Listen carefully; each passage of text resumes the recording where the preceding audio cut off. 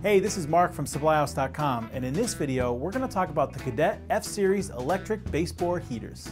This baseboard heater is built to provide heat to the room you're in through convection to naturally circulate warm air.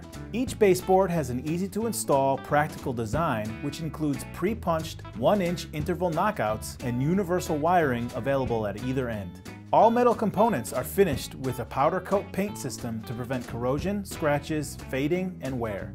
Cadet baseboard heaters are UL listed and factory rated at 120 and 208 volts. They are also dual rated from 208 volts to 240 volts. The element is steel sheathed calrod with channel shaped aluminum fins.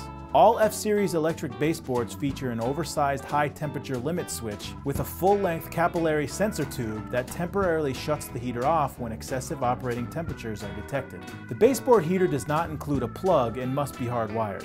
These baseboard heaters work best when placed under a window and at least 12 inches away from furniture or other objects. Do not install below electrical outlets. A wall thermostat or built-in thermostat kit is required for comfortable warmth and control. Cadet offers single pole, double pole, and 511 day programmable thermostats.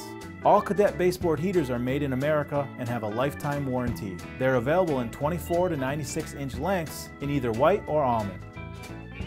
For more information, visit the Resource Center at supplyhouse.com or email us with any questions.